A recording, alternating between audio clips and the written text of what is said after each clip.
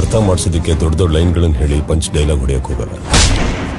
ನೀನ್ ಯಾವ ಹಂತಕ್ಕೆ ಹೋದ್ರು ಅದಕ್ಕಿಂತ ಒಂದು ತೂಕ ಜಾಸ್ತಿ. ನಾನಿರ್ತೀನಿ